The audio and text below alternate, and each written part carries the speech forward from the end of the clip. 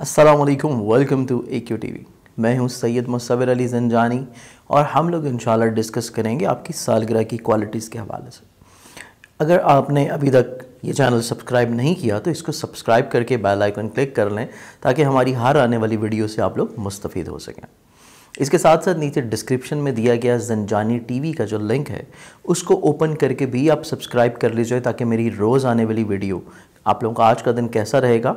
Weekly video और monthly tarot readings से भी आप लोग मुस्तफ़ हो सकें। इन आज की इस वीडियो में गुफ्तु करेंगे आपकी तरीक़े पैदाइश के दिन के हवाले से। आप लोगों की क्वालिटीज़ कैसी रहने जा रही हैं? आप लोगों की शख्सियत कैसी रहने जा रही है? और आपकी सालगिरह का तोहफ़ा मेरी जानब से आप लोगों को भिजवाया जाएगा। अगर आज आप लोगों की सालगिरह है तो आप लोग नीचे डिस्क्रिप्शन में या स्क्रीन के ऊपर जो मेरा मोबाइल नंबर आपको नज़र आ रहा है, इसके ऊपर आप मुझे आज अपनी सालगिरह का दिन मैसेज करेंगे।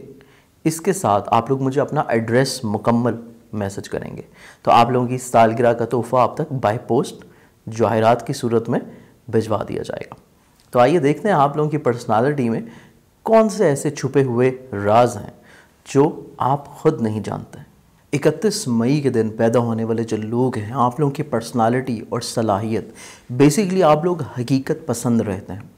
आप ख्वाबों की दुनिया या जज्बात की दुनियाओं में नहीं रहना पसंद करते और आप कोशिश करते हैं कि मैक्सिममली तौर के ऊपर जज्बात को एक साइड के ऊपर रखते हुए सिर्फ़ अपनी सोच, अपने तजर्बात और दूसरों की एडवाइस के साथ ज़िंदगी को बेहतर बना सकें।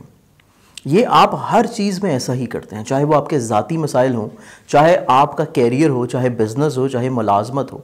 हाँ कोई भी रिश्ते में भी आपको कोई फ़ैसला करना पड़े तो आप जज्बात को एक तरफ़ रखते हुए सिर्फ़ अपने जहन के मुताबिक चीज़ों को हल करना चाहते हैं, और यही वजह है कि आप बड़ी बाखूबी के साथ हालात को समेट लेते हैं बहुत जल्द।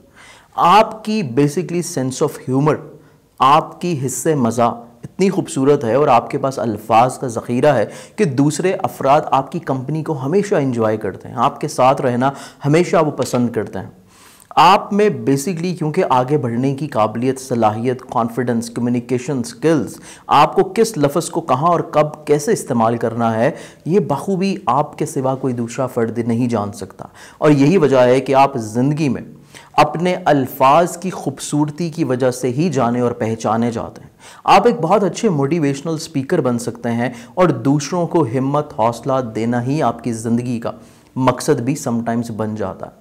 इसके साथ साथ जब बात आती है रिलेशनशिप की तो मोहब्बत के हवाले से आप में बहुत सारी चीज़ें पाई जाती हैं, आप सेक्रीफाइस भी करते हैं। लेकिन आप बहुत जल्द कमिटमेंट में नहीं जाना चाहते, क्योंकि आप बेसिकली दिल से ज़्यादा, दिमाग से सोचते हैं। तो जब आप दिमाग से सोचते हैं तो हकाइक आप सामने रखते हुए, अच्छी तरह परखते हुए, प्रैक्टिकली तौर के ऊपर फिर फैसला करते हैं। लेकिन एक दफ़ा जब आप किसी भी रिश्ते की अहमियत या उसकी अफादियत अपने दिल में तस्लीम कर लेते हैं तो फिर तादम हयात आप उस रिश्ते का पास रखना भी जानते हैं। उम्मीद है कि मेरी आज की इस वीडियो से आप लोगों ने अपनी ज़ात को बहुत अच्छे अंदाज में पहचाना होगा और अपनी ज़िंदगी को आगे बेहतर अंदाज में गुजारने के लिए कुछ चीज़ें नोट भी की होंगी। बहुत सारी दुआओं के साथ इजाज़त दीजिए। कल फिर आपसे मुलाकात होगी। अल्लाह हाफ़